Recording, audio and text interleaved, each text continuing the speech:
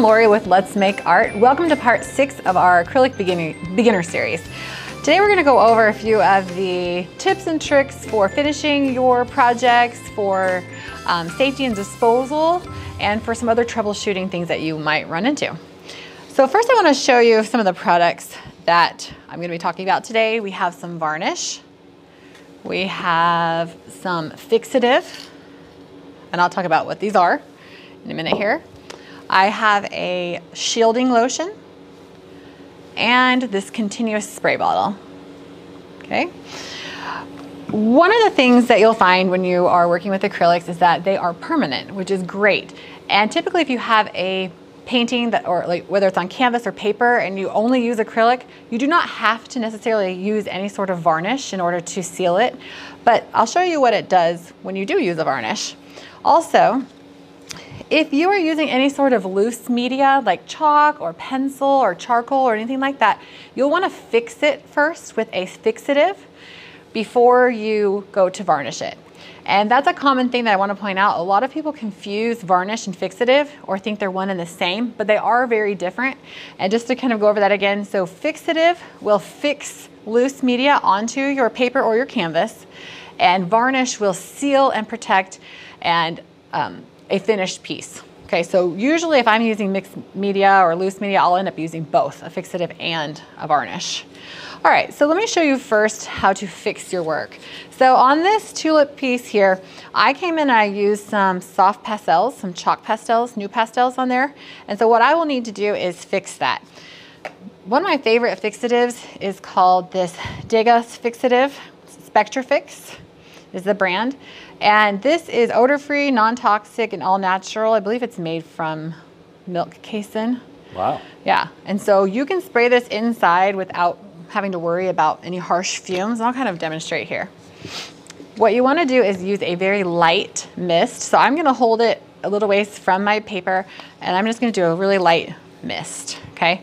So that's my first mist there, and it often takes several coats. So once that's dry, I'll come back again and I'll add another layer and I may add several layers um, in order for it to completely fix. And the way to know if it's completely fixed is to take your finger and rub on, gently rub on any of your loose media and you'll see there that mm. it comes back up. So you know that it is not fixed. Why is this a problem? I know um, from experience that if you go to varnish a piece, where you think all of your loose media is fixed, it will quickly ruin your piece. You'll get, it'll all mix into your varnish and it'll kind of cloud and muddy up your painting. If you work quickly enough, you can take that off and fix it, um, like remove it. But anyway, you wanna fix it. Okay, there's another kind of fixative that you can also try. This is one I like if I do, if I'm not confident that my chalk or whatever other media that I use is permanently fixed onto my page. This is an aerosol fixative. So it's a workable fixative and you'll want to use this outside because it does have an odor to it, but I found that this is kind of a nice alternative as well. Okay. Did you know about fixative, Keenan? I have never even heard of it. yes, it's a wonderful thing. It's just, it does take some time and patience to get it right, but it's great. Totally worth it then. Totally worth it, yes. Okay, so one of the next things I'll talk about is varnish. And again, varnish is kind of the last thing that you put onto a painting and you don't have to necessarily varnish acrylic paint because it is permanent. But when you do varnish, when you do add varnish, I'll show you what it can do. It can deepen the colors and the depth of your painting and also will seal and protect from dust and, and other things like that. Varnish comes in some different sheens. So here I have a matte varnish and a satin varnish. You can also get glossy varnish. I think there's even extra glossy. So what should I use? Matte or how about satin? Should I use satin today? Satin. I'm a big fan of satin. Satin? Okay. Is satin similar to matte? It is similar, but it is gonna have a little bit more of a sheen than okay. matte would. Matte, when I've used matte in the past, you just can't even tell there's a varnish on there at all. Yeah. Yeah. So then the satin, that's where that's where which is fine if that's the look you're going for. Yeah. yeah. All right. So I'm just gonna go ahead and use. Oh, this is brand new. Oh, nice. Yeah. I like I like using some varnish because I, I, really do feel like it kind of makes my painting look wet. It makes it just the, the colors richer and deeper. So I feel like it is worth it. It's like a reward. Yeah. okay, so I'm just gonna use this paper as my palette for right now. When you are going to varnish, maybe have a, a specialized brush for varnishing so that you don't uh, ruin any of your other brushes. So let me go ahead and put this in and I'm gonna start applying it.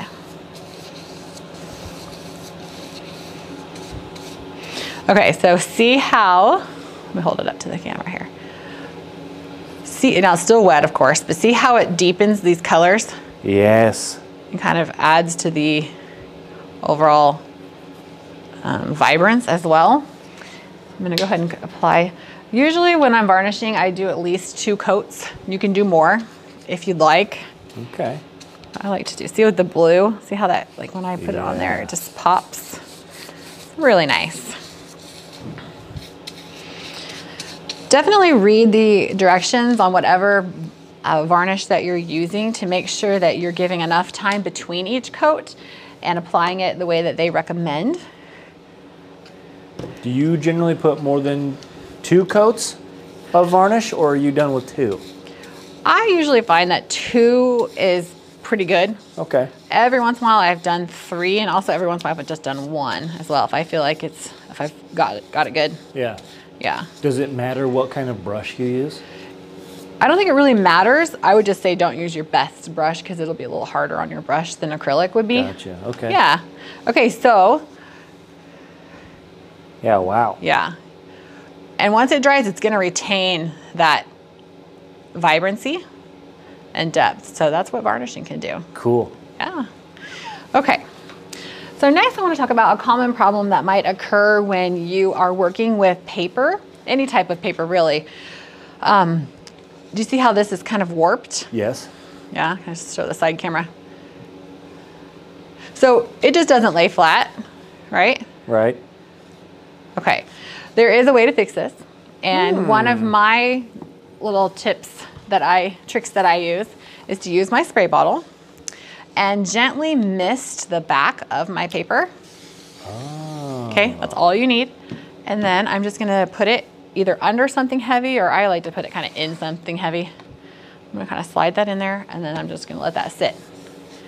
And really it just takes a few minutes and I've done a lot of them at a time. When I was getting ready for a big art show, I had a stack of, you know, somewhat warped watercolor paper and I wanted to put them in mats so I wanted them to be nice and flat. And this, someone told me about that trick and I used it and it worked great. Dang. Yeah, so that helped a lot. So Super while that's, convenient. yeah, while that's doing that, um, and you, I usually stack at home, I stack a few more books on top just to make sure it's nice and heavy, but we'll see how we do. Okay, so now let's talk about acrylic safety. There are some considerations to make when you are working with acrylic paints. Certain pigments have some metals in them or some toxicity to them, and so you wanna look into that when you are dealing with some different colors. I can show you too here on the on these paints. On the back side of your paint, you should be able to find the um, some information there. So here it says health and safety. There are no currently known health hazards associated with this one. And then on here as well, you should be able to find the pigment. Here we go, pigments, quinacridone. PV19. So I can go and I can look that up online and, and, and look and see if that is a, con, a, pigment to be concerned about. Most of your paint, most of your cadmiums are, for instance, are ones that you want to be careful with because they do have some toxicity, some um, metal components to them. And so one thing that you can do is you can wear gloves, which a lot of artists do wear gloves. Um, or just be very careful not to get them on your hands, of course. One thing that, one product I like to use is a shielding lotion. This one's called Gloves in a Bottle. There are other brands as well. And so what this does is it helps create a barrier between your skin and the paint. Now, will it actually prevent any toxic um, chemicals or metals getting into your skin? Probably, probably not. And I would go, I would really research that before I trusted it but it does help create a little bit of a barrier and it also helps paint wash off of your skin more easily. I know when I use it, my, skin's, my skin is nice and soft and there's not as many cracks or dry areas where it can, where the paint could, could get into my skin deeper. So this just goes on just like a regular lotion and I did, I did research this a, a bit because I was kind of like, hmm, I was a little bit skeptical because I thought, well, does would regular lotion just do the exact same thing? And I've tried both, and I will say this definitely there's something to this. It is a little more expensive than a regular lotion, um, but it creates a nice, like smooth feeling to it. It's not greasy, hmm. and it also will stay on through multiple washes. Oh wow! So if I'm, if I'm washing my hands, it'll stay on. I know a lot of um, people in um, healthcare and things like that may use this, depending on what type of healthcare you're in, of course. You want to take the proper precautions. Yeah, but that's something to look into and research on your own as well. Um, but yeah, definitely like be knowledgeable about the type of paint that you're using and and do what you feel best. Okay. So let's check now and see how our paper is doing. Okay. Cross your fingers. I know. have several books. At home, I, I like stack a bunch on top to make sure. Okay.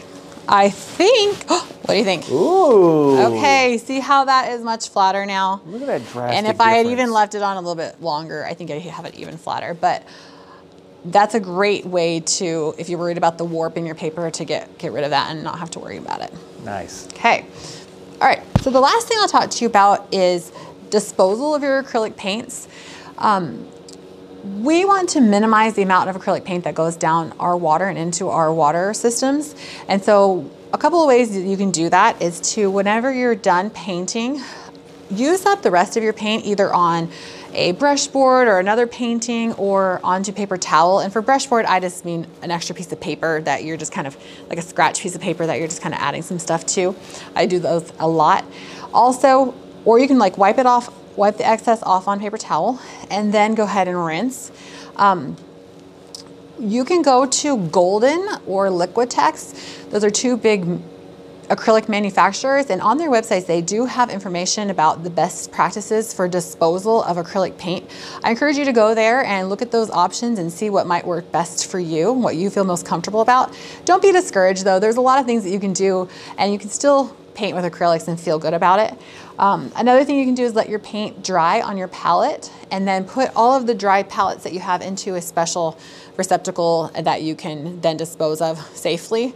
Um, what I do at home is I try to minimize the amount of paint that I put down the drain. I know some people say if you can get as much paint as you can out of there, it's okay for a little bit to go down the drain. So that's what I do. And then I just keep kind of a, a little, um, oh, one of those little, what do you call them, Keenan? Containers. It's like a filter. filter. Like a filter oh, okay. that catches anything. So any paint particles that might be dry, like larger pieces, would be mm. caught in that, and then I kind of dump those out and put those into the trash as opposed to down into our water system. That makes sense. Like a metal mesh, maybe. Yes. Yes. Exactly. Yes. Okay. yeah. And so definitely do your own research and do what you feel best about. But these are some ways that you can finish your paintings and use fixative to fix any loose media, and also a little bit, a few other tips to help with uh, your acrylic painting. To see more of our beginner series, check out letsmakeart.com.